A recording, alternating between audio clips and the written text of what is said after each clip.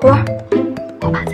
我让你出差了，现在应该在飞机上。他不明天出差吗？完了，我订错机票了。老板有几件事汇报一下。有一套一百五十平的房子，装修完才发现装错了，装的是隔壁。你信不信我把你屋给你抠过来了？有事儿？还有一个四十万的合同，签完才发现少写一个零。妈聊都给你抠了，信不？还有就是你明天的机票取消了。起飞，起飞。但是这里面只有一件事是真的。我告诉你刘丹啊，除了机票订错啊，我能忍受，其余我都忍受不了。就是机票订错了，就是机票订错了，吓我一跳你！赶紧去去那啥吧，订。我真是一个小机灵鬼。老板，我听说昨天有人捡到我电话了。昨天是有人给我打电话，说捡到我妈的手机了。那个，你听我解释，我是你儿子，是不？我现在告诉你，你这俩误会，我迟早跟你说。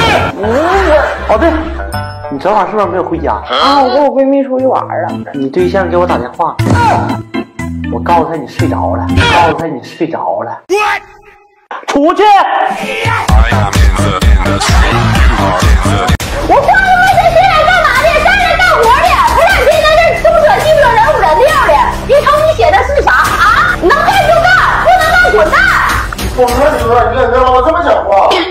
我我学他，我学他。嗯，我平时是这么跟你讲话的吗？嗯是我不对，明天我改啊。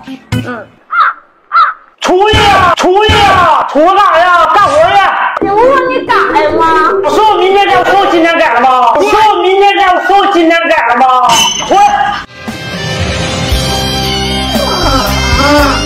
你好，我是李有蛋，我是新来的，我坐哪儿啊？你坐人事未必会这吧？他昨天办楼下去了。啊卫生会呢？啊，他已经不在人事了。啊！我还没来得及见他最后一面。那你可以去下面找。下面，对呀，十八层。对呀，十八层。我也没去过那地方啊，我也没去过那地方啊。我熟啊，我带你去。我，不去，我熟，我带你不去，不去？哎，你让我抠你肚子了，